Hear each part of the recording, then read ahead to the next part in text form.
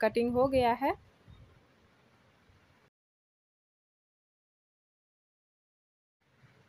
अब यहाँ पे हम सिलाई करना शुरू कर दिए हैं। तो यहाँ पे सबसे पहले हम गले की पट्टी को अटैच करेंगे। और इस तरीके से हम इसको ऊपर की ओर रख कर सिल देंगे और यहाँ से हम थोड़ा थोड़ा कट लगा देंगे। ताकि हम जब पलटे तो कोई भी आ, मतलब किसी भी तरीके का जो कपड़ा फोल्ड ना हो। यहाँ पे थोड़ा सा मैं गोलाई दे देती हूँ, इसको हम पलट के उसके बाद अच्छे तरीके से सिल देंगे। तो ये अच्छे शेप में बन के आएगा।